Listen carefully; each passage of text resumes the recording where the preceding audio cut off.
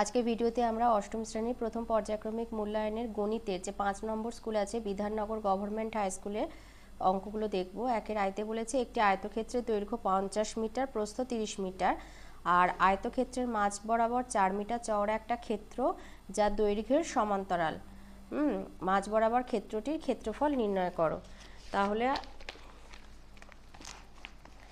আয়তক্ষেত্রের দৈর্ঘ্য হচ্ছে পঞ্চাশ মিটার, প্রস্থ তিরিশ, তাহলে পুরো আয়তক্ষেত্রের ক্ষেত্রফল হচ্ছে পনেরোশো বর্গমিটার। এবার মাঝ বরাবর চার মিটার চওড়া একটা ক্ষেত্র যা দৈর্ঘ্যের সমান্তরাল। তো এইরকম হবে চিত্রটা। তো এইটার, এই ধরো ই এফ এইচ জি বা ইজি এইচ এফ এর ক্ষেত্রফল বার করতে হবে। তাহলে পুরোটার ক্ষেত্রফল থেকে এই যে দুটো আছে অংশ মানে এই ক্ষেত্রটার জন্য যে দুটো টুকরো হয়েছে, তাতে প্রত্যেকটা দৈর্ঘ্য জানতে পারলেই এই দৈর্ঘ্য না সরি ক্ষেত্রফল বার করে নিলে পুরোটা থেকে মাইনাস করে দিলে এইটুখানির ক্ষেত্রফল বেরিয়ে আসবে। আচ্ছা তাহলে আয়তক্ষেত্রটি দুটো ভাগে ভাগ হয়ে গেছে এই ক্ষেত্রটার জন্য। তাহলে একটা ভাগের দৈর্ঘ্য হচ্ছে, দৈর্ঘ্য ঠিক আছে পঞ্চাশ মিটার, কিন্তু প্রস্থ বরাবর দেখো চার মিটার কমে গেছে। তাহলে প্রস্থ হচ্ছে তিরিশ মাইনাস চার বাই দুই, তার মানে হচ্ছে ১৩ মিটার। দুই কেন? দুদিকে দুটো প্রস্থ আছে, তো সেই জন্য। ঠিক আছে? এবারে একটি ভাগের ক্ষেত্রফল তাহলে হচ্ছে পঞ্চাশ গুণ তেরো মানে হচ্ছে ছশো পঞ্চাশ বর্গমিটার। তাহলে দুটোর ক্ষেত্রফল হচ্ছে তেরোশো বর্গমিটার। অতএব মাঝ বরাবর যে ক্ষেত্রটা আছে, তার ক্ষেত্রফল হচ্ছে পনেরোশো বিয়োগ তেরোশো মানে দুশো বর্গমিটার।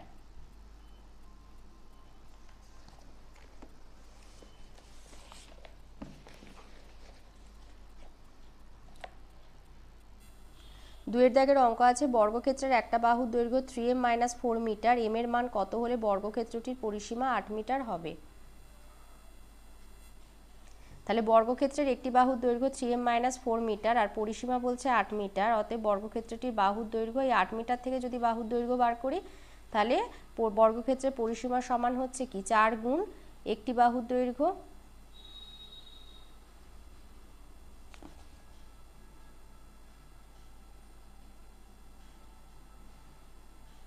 তাহলে যদি একটি বাহুর দৈর্ঘ্য ভার করতে চাই, তাহলে পরিসীমাকে চার দিয়ে ভাগ করলেই পাবো। তাহলে একটা বাহুর দৈর্ঘ্য হচ্ছে দু মিটার।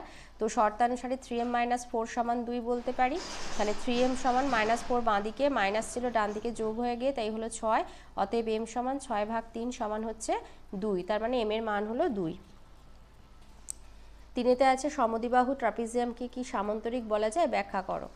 আচ্ছা তাহলে সামন্তরিক কি আর সমদিবাহু ট্রাপিজিয়াম কি? তাদের সংজ্ঞাগুলো আমাকে জানতে হবে। তো আমরা জানি সামন্তরিকের বিপরীত বাহুগুলি সমান ও সমান্তরাল, আর এর বিপরীত কোণগুলো পরস্পর সমান হয়। তার মানে যে চতুর্ভুজের বিপরীত বাহুগুলি সমান ও সমান্তরাল, আর বিপরীত কোণগুলো পরস্পর সমান, তাকে সামন্তরিক বলে।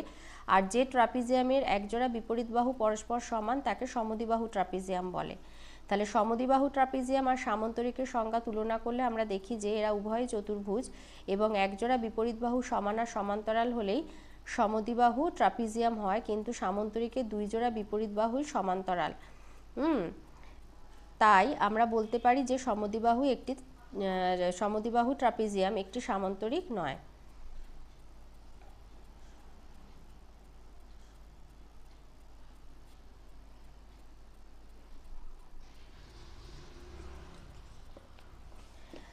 চারের দাগেতে একটা সরল দিয়েছে আর পাঁচে একটা ভাগের অঙ্ক আছে। একের দাগে চারেতে সরল আর একটা পাঁচে ভাগ।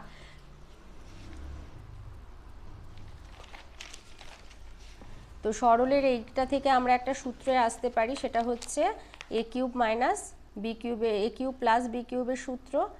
আর এটা থেকে আসতে পারি এ কিউব মাইনাস বি কিউবের সূত্র। তো এখানে যেহেতু এক্স ওয়াই আছে, তাই লিখেছি X cube plus Y cube আর এখান থেকে লিখেছি plus X cube minus Y cube তাহলে ওয়াই কিউব আর ওয়াই কিউব কেটে গেল, তাহলে এখানে দুটো এক্স কিউব আছে, তাই অ্যান্সার হবে টু এক্স কিউব আর একের পাঁচে যে ভাগটা আছে, তো ভাগটা প্রথমে ভাজককে এম স্কোয়ার দিয়ে গুণ করেছি, তাহলে M to the power four minus M cube minus six M square এবার ভাগের নিচের সব সংখ্যামালাগুলোর মানে পদগুলোর আর কি চিহ্ন পাল্টে যায়।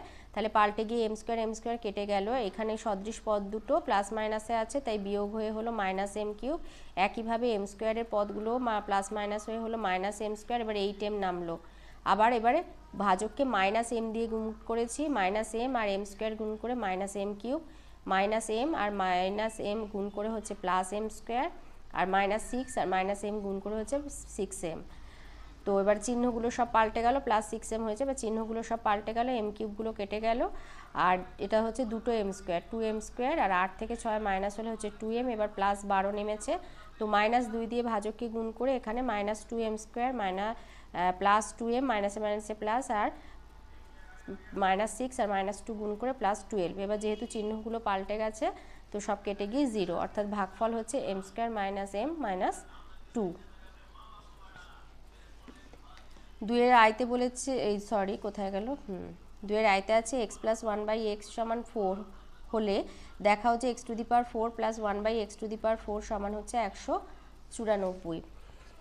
তাহলে X plus one by X সমান ফোর এটাকে উভয় পক্ষকে বর্গ করে পাই।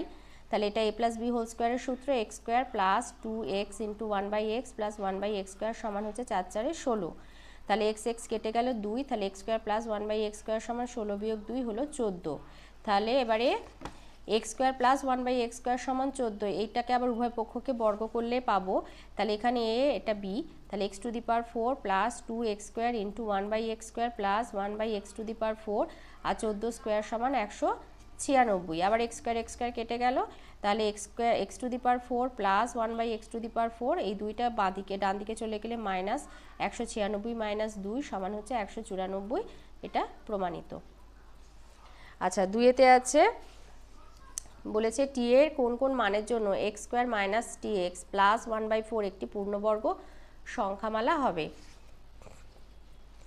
আচ্ছা এখানে দেখো X square minus two into X into T by two plus T by two whole square plus one by four R minus T by two whole square তো এটাকে একটা সূত্রের মধ্যে নিয়ে যাওয়ার চেষ্টা করেছি, তো সেই জন্য এখানে plus T by two whole square এইটা এনেছি। তো এটা যেহেতু অতিরিক্ত, তো এটাকে কেটে যাতে বাদ দেওয়া যায় সেই জন্য এখানে minus T by two whole square রেখেছি। তাহলে এই দুটো কেটে গেলে কিন্তু ওরা আমাদের যেটা দিয়েছে, সেই সংখ্যামালাটাতে আমরা আবার চলে যেতে পারব।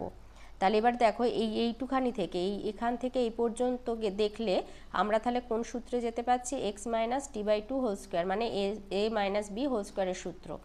আর এই দুটো যদি যোগ বিয়োগ করি, তাহলে হচ্ছে তোমার দুটোরই হর হচ্ছে যেহেতু চার, তাই one minus T square by four আচ্ছা এই রাশিমালাটিকে পূর্ণবর্গ হতে গেলে তাহলে one minus T square by four সমান জিরো হতে হবে।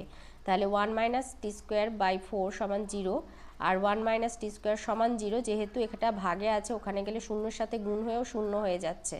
তাহলে মাইনাস টি স্কোয়ার সমান মাইনাস ওয়ান তাহলে মাইনাস মাইনাস কেটে গেল, তাহলে টি স্কোয়ার সমান হচ্ছে ওয়ান অতএব টি সমান হচ্ছে plus minus one plus one বা মাইনাস ওয়ান হলে মানে টি এর মান প্লাস ওয়ান বা মাইনাস ওয়ান হলে ওটা একটা সংখ্যামালাটা একটা পূর্ণবর্গ সংখ্যা হবে বা রাশিমালাটিকে পূর্ণবর্গ করা যাবে।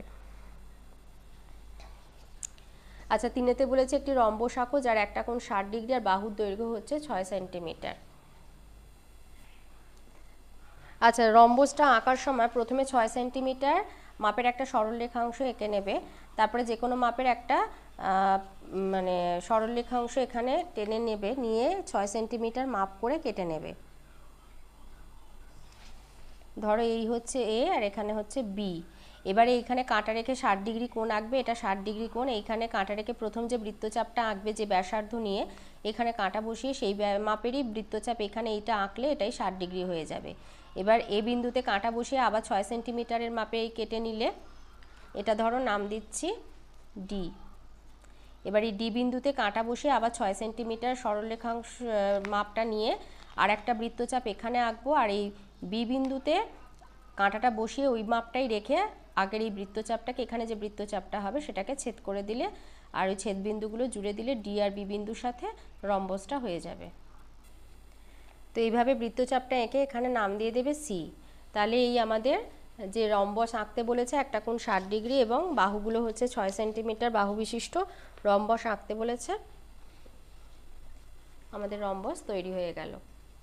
আচ্ছা এরপরে আছে চারের দাগেতে বলেছে যে একটি আয়তঘনের দৈর্ঘ্য প্রস্থ উচ্চতা যথাক্রমে চার সেমি, তিন সেমি আর তিন সেমি, এই রকম কমপক্ষে কতগুলি আয়তঘন জুড়ে একটি ঘনক তৈরি হবে? তো আয়তঘনকটির আয়তন হচ্ছে চার গুণ তিন গুণ তিন ঘন সেমি মানে ছত্রিশ ঘন সেন্টিমিটার চার তিন এবং তিনের লসাগু হলো বারো। যেহে যে নতুন ঘনকটা তৈরি হবে, তাহলে তার বাহুর দৈর্ঘ্য হবে বারো সেমি। তাহলে নতুন ঘনকের আয়তন হচ্ছে বারো গুণ বারো সমান এক হাজার সাতশো আঠাশ ঘন সেমি অতএব আয়তঘনের সংখ্যা হচ্ছে এক হাজার সাতশো আঠাশ ভাজিতক ছত্রিশ সমান হচ্ছে আটচল্লিশটা। আচ্ছা পাঁচের দাগের এতে আছে ছশো পঁচাত্তরকে ক্ষুদ্রতম কোন ধনাত্মক সংখ্যা দিয়ে গুণ করলে গুণফল একটি পূর্ণঘন সংখ্যা হবে। তাহলে ছশো পঁচাত্তরের আমরা যদি উৎপাদকে বিশ্লেষণ করে দেখছি, সেখানে কিউবের আকারে মানে ঘন ফলে নিয়ে যেতে গিয়ে দেখছি যে তিন three to the power cube হচ্ছে কিন্তু ফাইভটা স্কোয়ার হয়ে আছে। তাহলে একটা পাঁচ কম আছে, তাহলে নিম্ন ক্ষুদ্রতম ধনাত্মক সংখ্যা হচ্ছে পাঁচ। তাহলে একে পাঁচ দিয়ে গুণ করলে ছশো পঁচাত্তরটা পূর্ণঘন সংখ্যা হবে। আর বিতে আছে সাত হাজারকে ক্ষুদ্রতম কোন ধনাত্মক সংখ্যা দিয়ে ভাগ করলে ভাগফল পূর্ণ ঘন সংখ্যা হবে। তো সাত হাজারের রকম উৎপাদকে বিশ্লেষণ করে ঘনর আকারে সব মানে সংখ্যাগুলোকে নিয়ে যেতে হবে।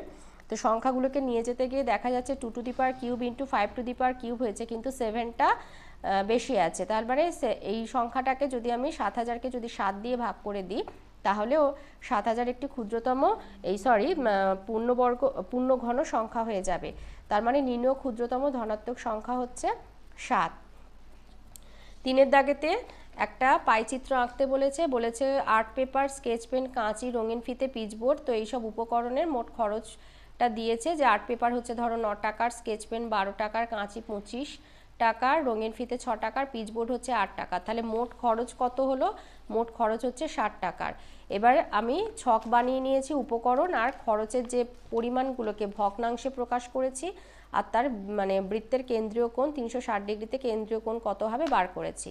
তাহলে আর্ট পেপার হচ্ছে নয়ের ষাট, তো সেটা কাটাকুটি করে কেন্দ্রীয় কোণ হচ্ছে চুয়ান্ন ডিগ্রি, স্কেচ পেন হচ্ছে বারো ষাট বাহাত্তর ডিগ্রি কেন্দ্রীয় কোণ, কাঁচি পঁচিশের ষাট, একশো পঞ্চাশ ডিগ্রি। আর রঙিন ফিতে হচ্ছে ছয়ের ষাট, ছত্রিশ ডিগ্রি। আর পিচবোর্ড হচ্ছে আটের ষাট, আটচল্লিশ ডিগ্রি। তো এই সব কটা কোণ যোগ করে দেখা যাচ্ছে তিনশো ষাট ডিগ্রি। তো এখানে হিসাবটা ঠিকই আছে। তো এবার একটি যে কোনো মাপের ব্যাসার্ধ নিয়ে বৃত্ত এঁকে এইভাবে কোণগুলো বসিয়ে দেবে। প্রথমে ধরো আমি চুয়ান্ন ডিগ্রি কোণটা বসিয়েছি। তো এইভাবে কাট মানে চাঁদা দিয়ে এইভাবে চুয়ান্ন ডিগ্রি কোণটা বসানোর পরে এই যে রেখাটা পেয়েছি, রেখাটা পেয়ে এইটাকে এবার তোমার এই চুয়ান্ন ডিগ্রি কোণের এই বাহুটাকে আবার এই নিচের এই অক্ষের সাথে মিলিয়ে নিয়ে বাহাত্তর ডিগ্রি কোণটা বসালাম। এবার বাহাত্তর ডিগ্রির এই যে বাহুটা পেলাম, সেখানে আবার চাঁদাটার নিচের অক্ষের সাথে ওটা মিলিয়ে নিয়ে আবার দেড়শো ডিগ্রি কোণটা বসালাম। তো এইভাবে বসিয়ে এইভাবে বাকি কোণগুলো বসিয়ে নিয়েছি, নিয়ে পায়চিত্র তৈরি করে নিলাম। তো এই ছিল আজকের আমাদের অষ্টম শ্রেণির প্রথম পর্যায়ক্রমিক মূল্যায়নের গণিতের পাঁচ নম্বর স্কুলের অঙ্কগুলো। তো কেমন লাগল কমেন্টের মাধ্যমে অবশ্যই জানাবে। ভালো লাগলে লাইক আর একটু বেশি করে শেয়ার করে দেবে। আর যদি চ্যানেলটা সাবস্ক্রাইব না করে থাকো তো অবশ্যই সাবস্ক্রাইব করে নেবে।